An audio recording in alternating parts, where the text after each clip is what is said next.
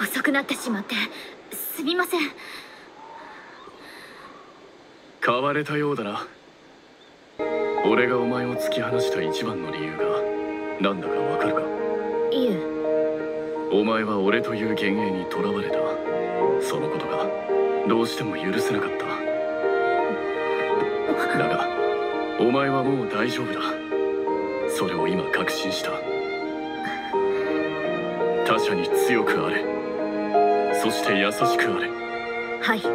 長い髪が好きだと言ったのは嘘だ。え？短い髪型を好んでいたお前が真に受けるかどうか確かめるために嘘をついてしまった。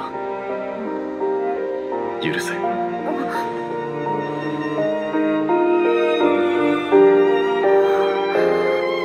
します。その嘘のおかげ